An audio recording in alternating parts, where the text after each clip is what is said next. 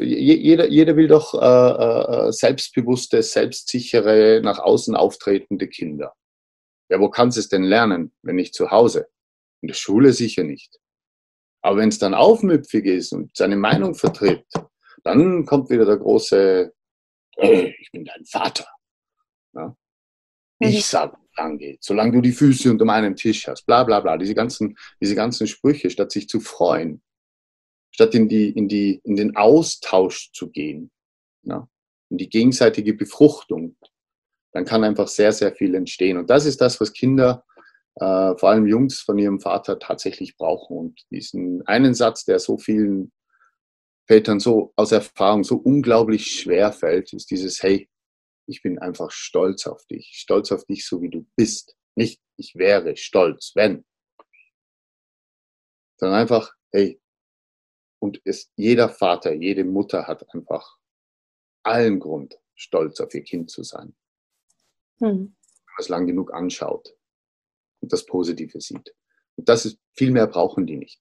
Sie haben es von ihrem eigenen Vater nie gehört. Mhm. Also so gut wie wenn ich jetzt, wenn, wenn, wenn ich eine Gruppe habe und ich frage, hey, wer von euch Vätern hat von seinem Vater wirklich so ein bedingungsloses, absichtsloses, ich bin stolz auf dich bekommen, jemals, jemals bekommen? Also wir reden nicht von um, Umarmung oder irgendetwas. Das, das, das vielleicht 50 Prozent haben jemals in ihrem Leben eine Umarmung von ihrem Vater bekommen. Mhm. Und äh, bei Ich bin stolz auf dich 10 Prozent die das bekommen haben. Vielleicht, wenn überhaupt. Ja. In, in, dem, in dem Mutter-Sohn-Abenteuern geht es ähm, geht's auch um die Beziehung zwischen Müttern und Söhnen, wobei der, der Ansatz da ein bisschen, bisschen anders ist. Also bei den Vätern tue ich mir ja, kann man ja sagen, hey, geh einfach zurück in deine, in deine Jugend, in deine Kindheit. Vielleicht schaffst du es sogar dahin zu gehen, als du sechs, sieben, acht Jahre alt warst. Oder zehn, als du in die weiterführende Schule gegangen bist. Was hat dich denn da, da bedrückt? Wie ging es dir denn da? Ja oder in der Pubertät. Ne?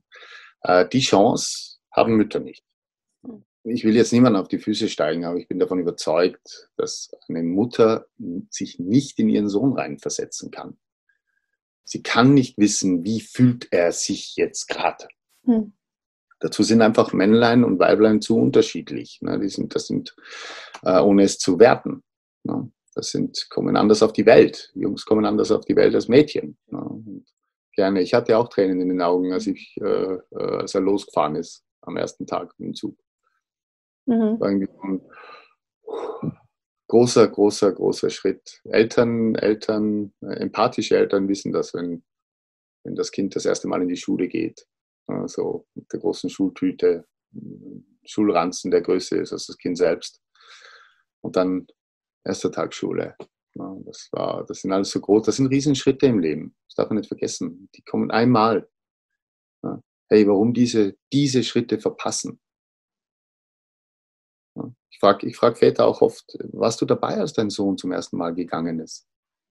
Wirklich aufrecht. Dich imitiert hat, dich nachgemacht hat. Geschaut hat, was macht der Papa?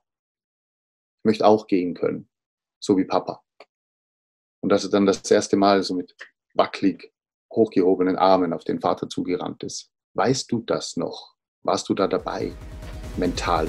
Oder warst du da noch im Büro?